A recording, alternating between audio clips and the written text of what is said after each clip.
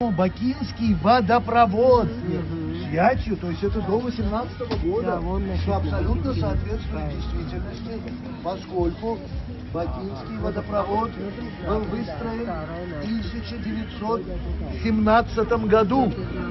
И его протяженность была 177 километров. Это была фантастика по тем временам. 177 километров прямой линии, чтобы не было изгибов, чтобы вода не создавала нежелательного давления.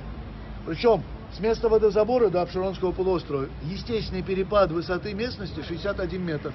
Поэтому водопровод вели четко и прямо, причем по самым последним техническим наработкам того времени. Посмотрите, какая палубка, какая работа по бетону. И он был врыт в землю. Это был самый крупный самотечный водопровод Российской империи, строительство которого было осуществлено представителем британской короны, который имел офис во Франкфурте на Майне. Сэр Уильям Линдлей, один из ведущих гидрогеологов Европы, человек, который строил каналы в Бельгии, который проектировал систему канализации в Праге, и которого при прямом содействии Гаджи Зейналабзина Тагиева приглашают в Баку для изыскания возможных источников пресной воды для города, который к 17 году не имел проточной воды, вы представляете? То есть были местные колодцы, воду везли либо из Куры, либо из Волги. Волжская вода продавалась по 2 копейки за ведро. Куринская по копейку за ведро. Это были баснословные деньги по тем временам. За ведро воды. Понимаете, то есть город страдал от безводья. И Тагиев решает эту проблему, пытается как-то решить эту проблему. И он приглашает Уильяма Линлея, который сразу же отказался от идеи, которую предлагал Дума. А вот давайте брать воду из Куры. А все же берут воду из рек. Но куринская вода грязная. Это будет сделано в советский период. Ее надо же постоянно очищать, фильтровать. И вот что делает Тагиев? Очень часто сейчас говорят, что Тагиев построил Шалларский водопровод. Это немножко притянуто за уши. Почему? Потому что бюджет Шалларского водопровода, ну представьте, 177 километров бетонированных труб, которые до сих пор, вот по сегодняшний день, обеспечивают 18% ежедневного водного баланса Баку. Вот. Бюджет 27 миллионов рублей. У Тагиева не было таких денег. Гораздо более богатого Асадулаева было 10 миллионов, когда он умер. Ни один из отдельно взятых нефтепромышленников не мог это осилить самостоятельно. Но роль Тагиева в этом проекте состояла в том, что он приглашает Линдлея, он оплачивает ему 30 тысяч, большая, но посильная сумма, на то, что сейчас называется технико-экономическое обоснование, ТО. И Линдлей на эти средства начинает исследовать источники пресной воды в Баку. И вот радиус начинает расширяться, расширяться, расширяться. И, наконец, он доходит до местечка Худат, Шоллар, в районе Худата. Там он обнаруживает огромные запасы подпочвенных вод, которые, это были талые воды из гор Большого Кавказа. И вот его идея образно состояла в том, что да, это дорого, но мы строим один раз водопровод, и пока кавказские, пики Кавказских гор покрыты снегами, у вас будет источник талой воды высочайшего качества. Да, немножко жесткая, но хорошая вода. Понимаете? И вот Дума не хочет.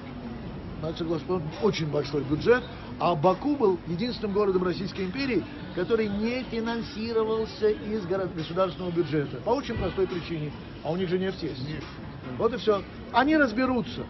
И поэтому город, обеспечивавший половину мировой добычи нефти в 1901 году, проточную воду получит в 1917. Канализацию в 26-м. В инфраструктурном отношении Баку отставал. Трамвай пойдет в 24-м. Понимаете?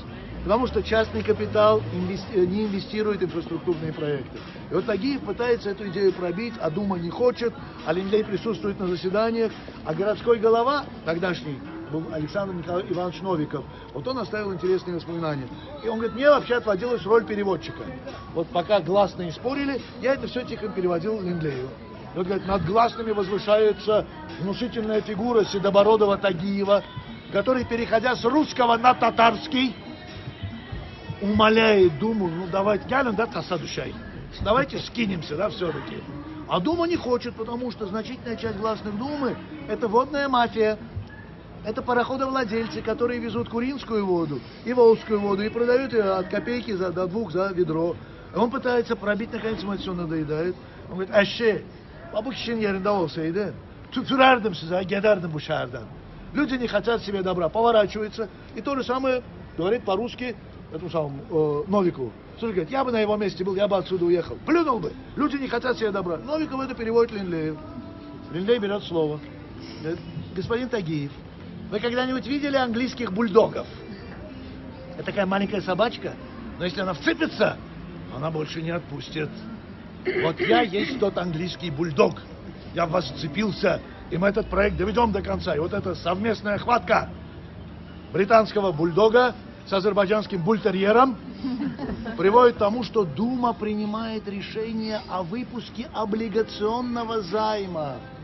Первый и последний случай в истории дореволюционного Баку. Выпускается облигационный займ, за счет которого осуществляется финансирование Шалларского водопровода. Строительство начинается в 2014 году. В 2014 году начинается Первая мировая война. Дума принимает еще одно умное решение. Всем работникам, задействованным на строительстве водопровода, гарантирована бронь. В результате все точки по найму были полны людей, готовых работать чуть ли не бесплатно, лишь бы не идти на войну.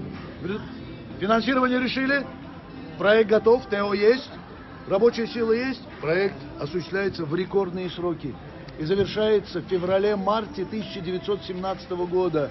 И вот тогда Тагиев с главным рабочим по строительству водопровода открывает кран, и в Баку хлынула вот эта вот вода из предгорьев Кавказа. Она течет самотеком до Абширонского полуострова.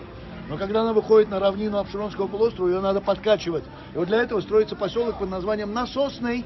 Название говорит само за себя сейчас Хаджи Зейналабдин.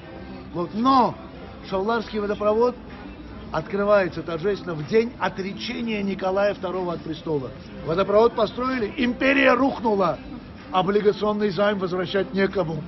Баку проскочил. Но имя Линдлея хотели дать вначале Биржевой улице, а потом его именем назовут Романовский проспект, до которого я все-таки надеюсь вас довести, но не совсем уверен. Там находится Кирха. Вот Кирха находится на бывшей телефонной улице. Телефонная улица поменяла пять названий. Это чемпион по смене названий. Вот. Вначале она была телефонной, из-за первых телефонных столбов. Потом она стала Романовским проспектом в 13 году, а в 17-м Романовых свергли. Это было как проспект Ленина на постсоветском пространстве. Поэтому улицу переименовывают. А во что ее переименовать? А тут шарах, Шаларский водопровод.